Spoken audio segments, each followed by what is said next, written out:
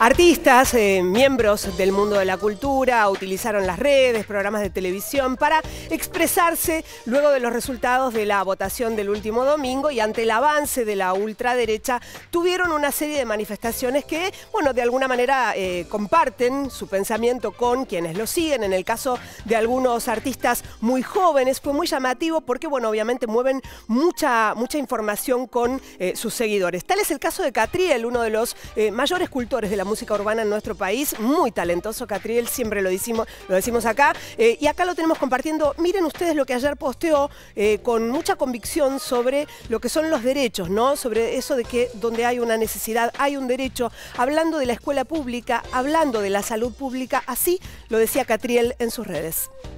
Tenía las herramientas, no tenía la guita para agarpar mi educación, ni yo ni mis viejos, te imaginarás si los hospitales, si la sanidad hubiese sido privada, yo estaría muerto.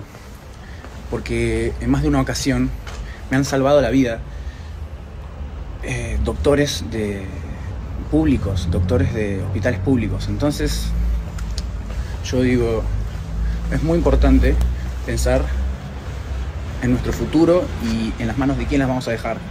Ojo, porque en el futuro vas a necesitar cosas y no vas a poder pedirlas, porque esos son derechos. Y cuando hay una necesidad, hay un derecho.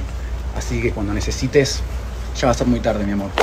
Ahí estaba, eh, bueno, Catriel, y esta es Lali, por supuesto, que fue una de las primeras que tuiteó. Qué peligroso, qué triste. Hubo un montón de mm, haters, odiadores que en las redes también la atacaron. Ella insistió en que eh, está eh, realmente en, en, contra de quienes pueden, prometen aniquilar derechos. Trueno, tus derechos son lo único que tenés, no te regales. Así compartía también uno de los jóvenes talentosos que tienen muchos seguidores, claro que sí. Claudia Piñeiro decía, si para muchos de nosotros antes era complicado poner algo acá por Twitter, me imagino lo que puede ser ahora, compartiendo sensaciones y también pensamientos, ¿no? Quienes participaron, como por ejemplo el escritor Félix Brusone que decía, buen día, aprovechen a llevar a sus hijos al colegio antes de que arranque el tema voucher. Lo dice con ironía y por supuesto que lo dice con compromiso también. Se viene propuesta de hipoteca inversa de órganos en 3, 2, 1. César González estuvo anoche en la TV pública. Dice, mi abuela, subproletaria toda su vida, evangelista, votó a mi ley porque así se lo exigieron dos pastores de la iglesia y me consta que lo mismo pasó en muchas iglesias. Bueno, contaba también de su hermano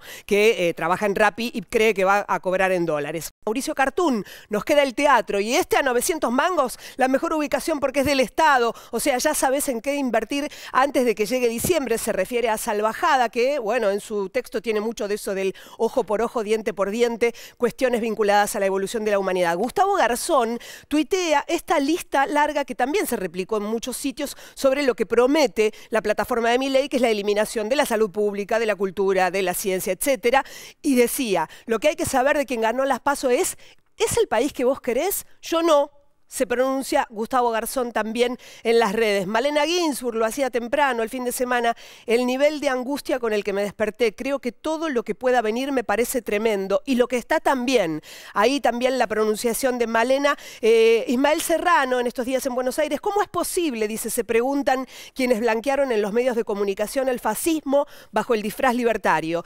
Televisasteis el abismo en prime time para que todos lo mirasen, ahora el abismo es el que te mira y ríe y ya no es es tan gracioso. Y por supuesto que está todo el mundo hablando del Instagram de Alec Baldwin, porque eh, hay un asesino serial en estos días que está en todos los medios en Estados Unidos y lo compara porque dice, increíble, hasta tiene el mismo color de tintura de pelo y lo compara con un arquitecto que está acusado de una serie de crímenes allí en, eh, en los Estados Unidos. Cosas que pasan en el mundo de las redes con repercusiones de pensamiento de nuestros artistas.